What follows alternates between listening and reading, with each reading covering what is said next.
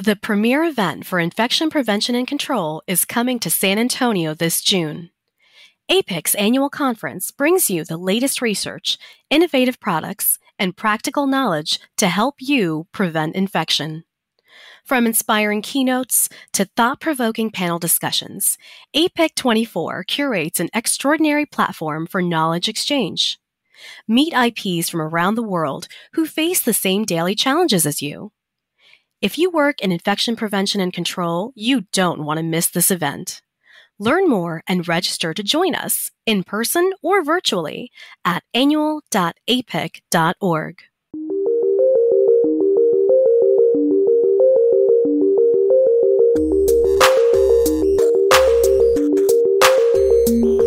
You're listening to the 5 Second Rule, brought to you by APIC, the Association for Professionals in Infection Control and Epidemiology. Together with our nearly 16,000 members, we strive to create a safer world through the prevention of infection.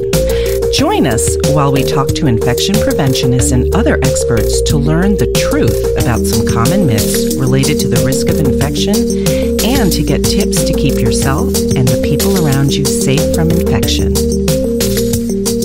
Oh my God, Hannah, unbelievable. Today's episode is going to focus on highly infectious diseases and outbreaks, and we're actually going through that right now.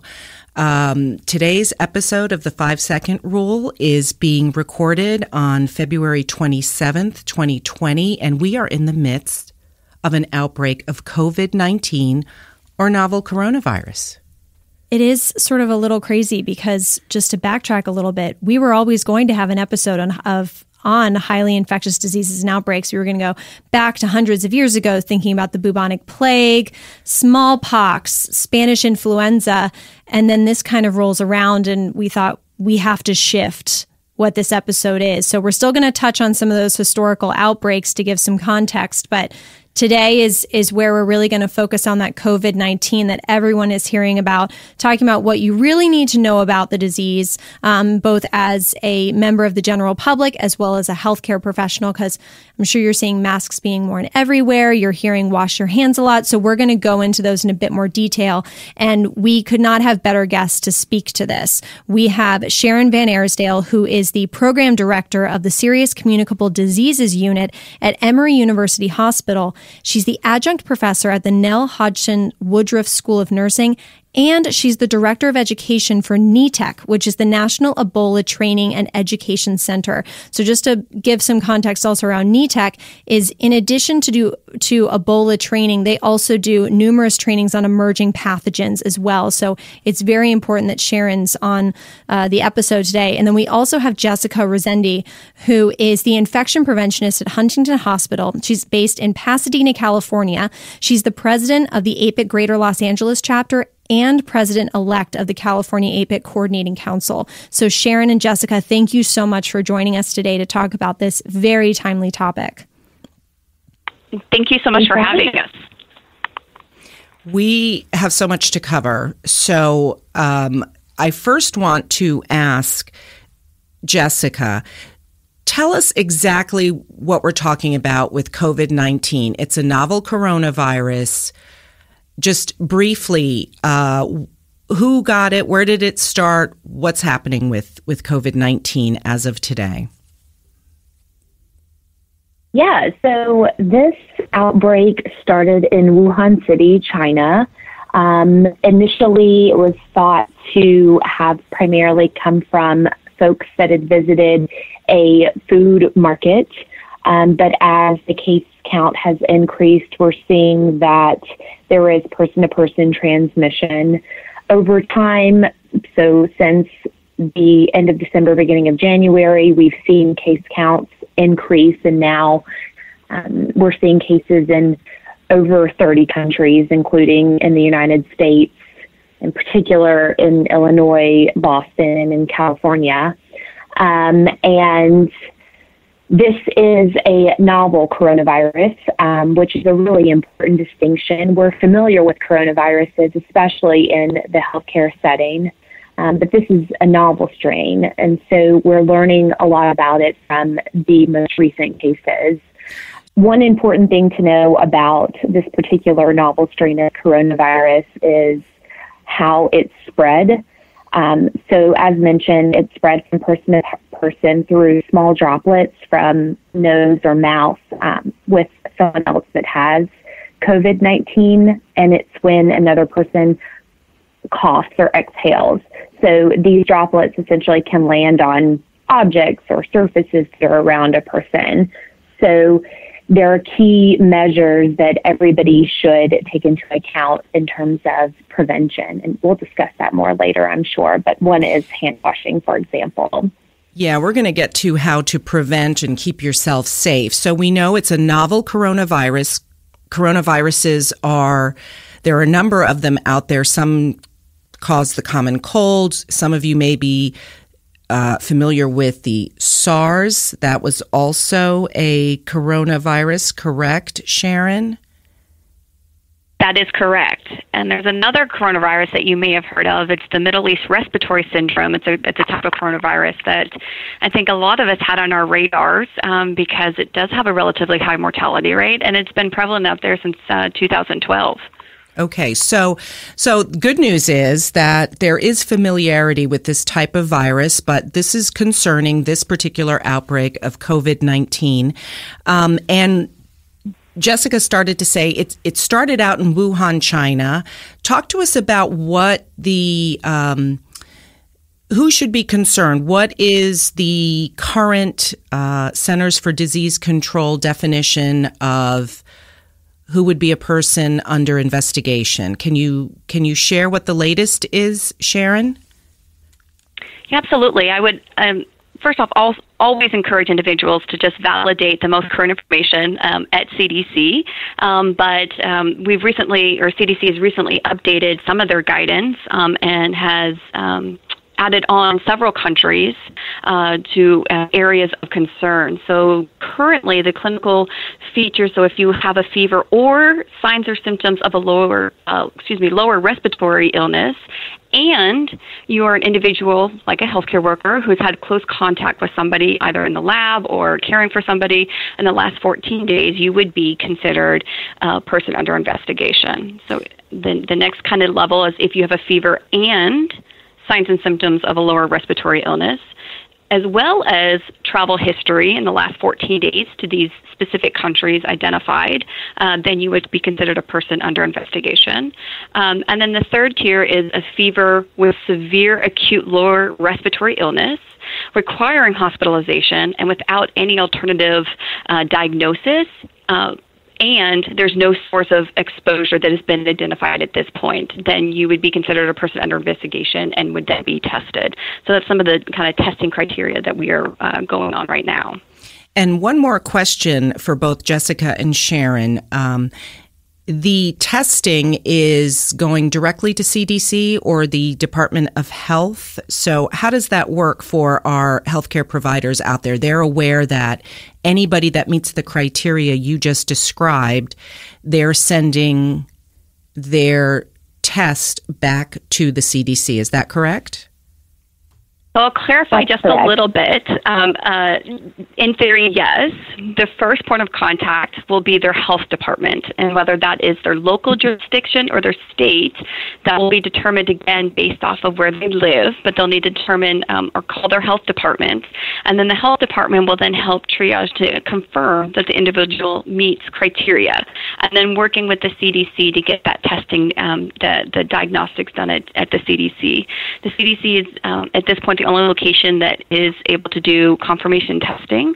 Um, I know that they are working with several state labs to try to get uh, labs up and running um, uh, where they can run uh, this type of testing as well. Now, Jessica, I want to get your thoughts um, specifically on some of the items that I've been seeing on the news regarding wearing masks and PPE supply issues. Being based in California, you are in a bit of a unique situation compared to other areas of the country. You have access um, to different travel points. There was a recent um, community based outbreak, or not outbreak, an individual that was identified and is currently under investigation um, without a known source.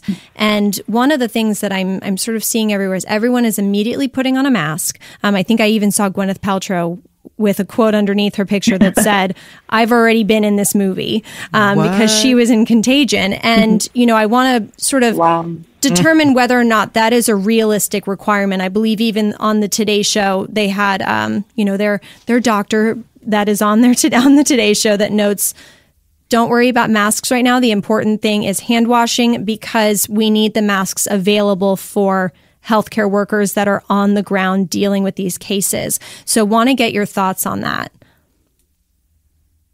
That is absolutely that is absolutely correct.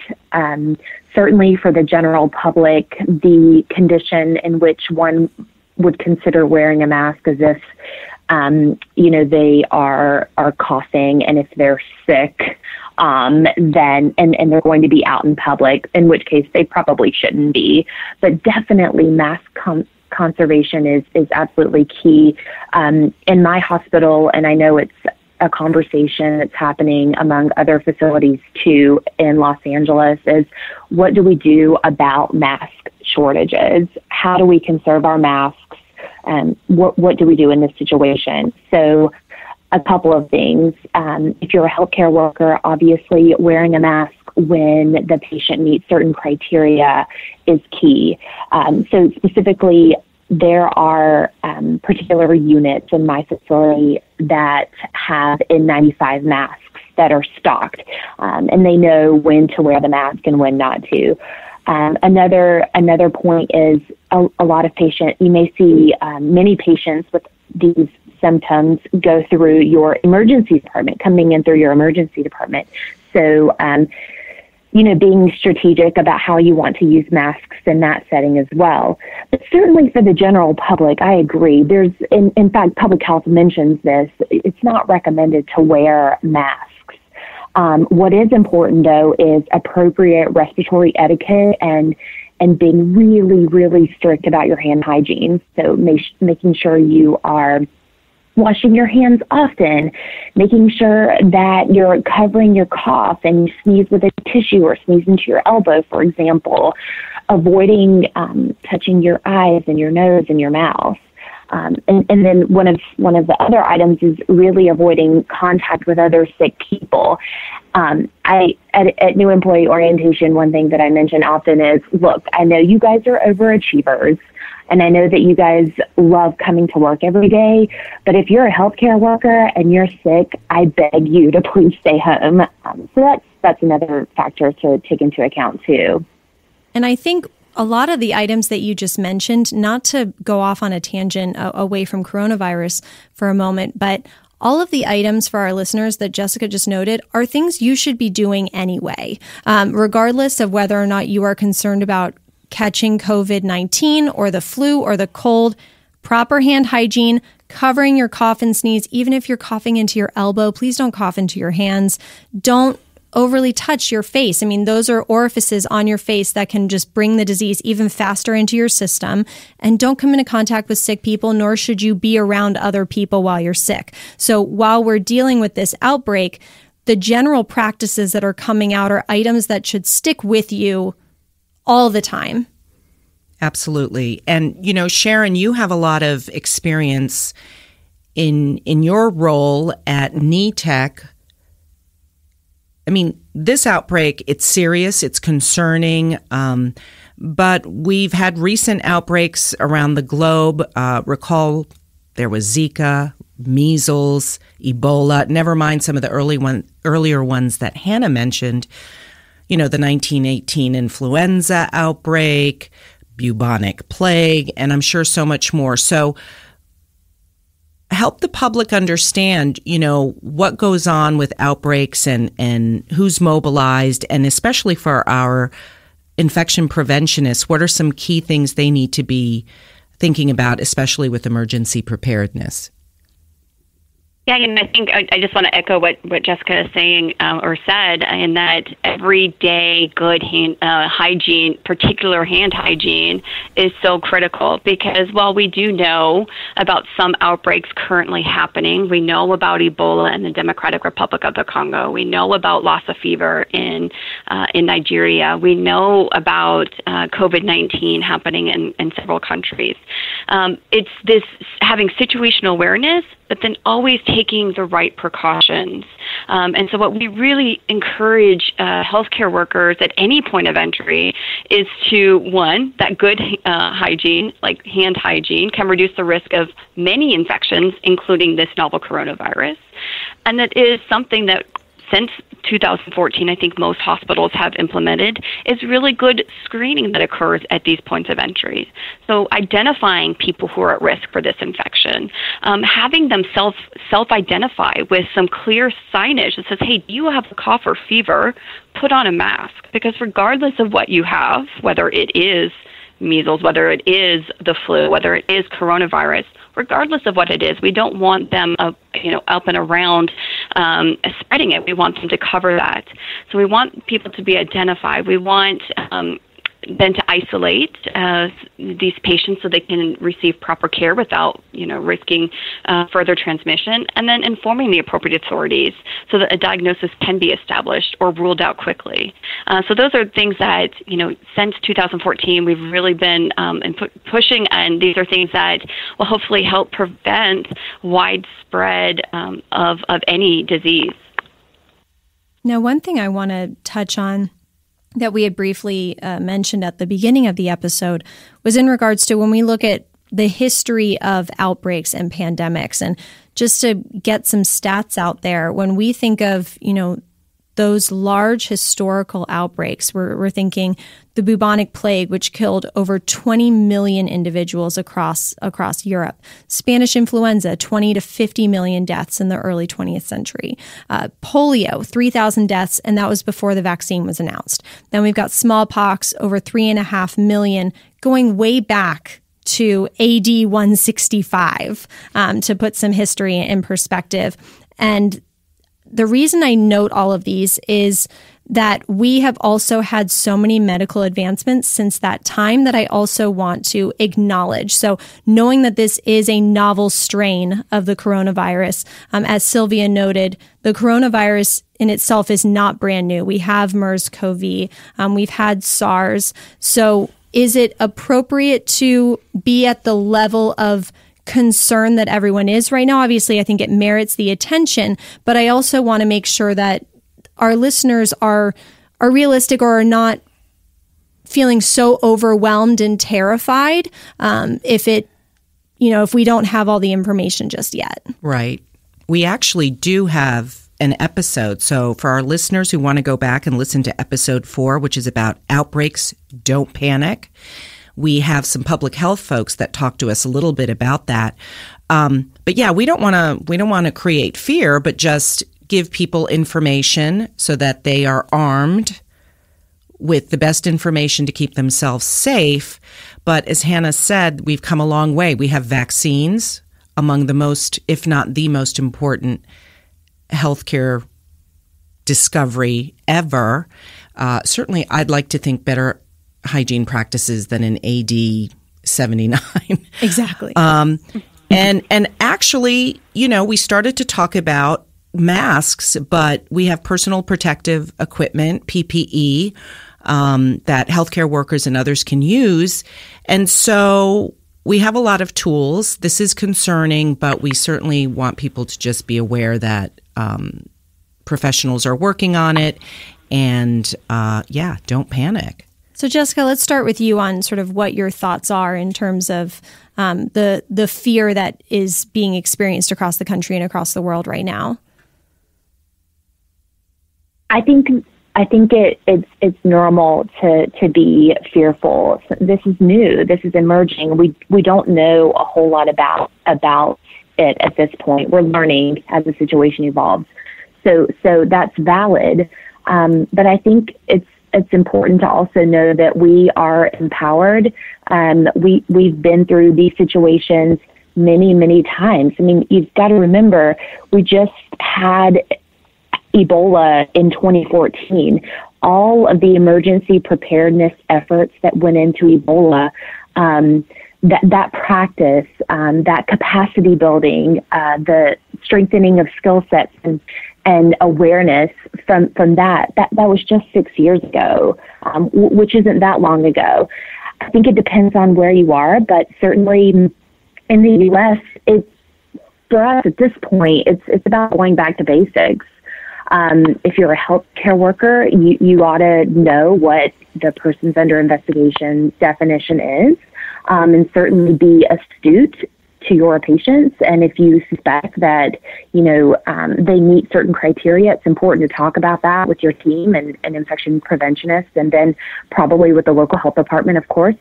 Um, it, things are under control as we've discussed in the U.S. Um, it makes sense, but the the key is just really knowing that that we have the resources right now, that we that we are prepared, and that the situation is um, controlled right now.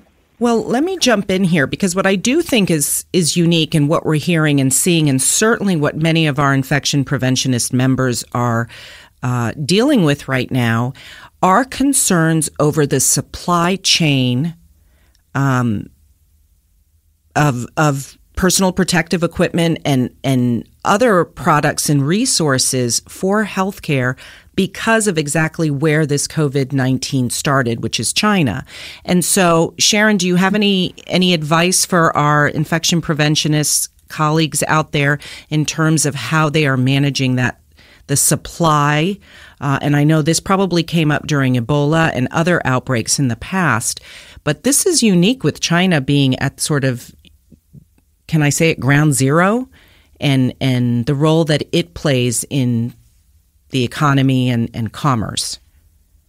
Yeah, absolutely. And I think this is on the minds of a lot of people right now is, is how do I make sure that we can protect our healthcare workers that are, you know, going to be caring for these um, for, for patients with COVID nineteen. Um, so again, in response to potential national shortages, we've seen a lot of institutions uh, start utilizing some PPE stewardship strategies. Um, strategies, excuse me. Um, one is uh, especially related to N95 use, and so limiting the um, N95 use to patients who really meet criteria for airborne isolation. And so, um, what this means is, you know, really assessing uh, the requests or the orders and confirming that patients actually need it. Um, you know, I think the and this is for for all patient populations, not necessarily specific to COVID 19. Uh, I think another strategy is limiting um, airborne isolation room entry. So, you know, if you work in, in, an academic center, you often see teams of individuals and healthcare providers going in to round on patients um, who perhaps are in respiratory isolation. This is probably not the time where you want to, um, to have a large group of individuals going in to, you know, in, you know, a patient who is on um, respiratory isolation. So again, keeping that in mind. Um, there's also a lot of uh, guidance out there about um, N95 reuse. Uh, there's great education and guidance on when to reuse, when not to reuse, and I think that you know, again, getting very strategic around how how we do that. Um, so there there are guidelines out there, and I will also say that the National Ebola Training and Education Center would like to to put out some additional. Um, methods and strategies for what what we're seeing across the country for PPE stewardship.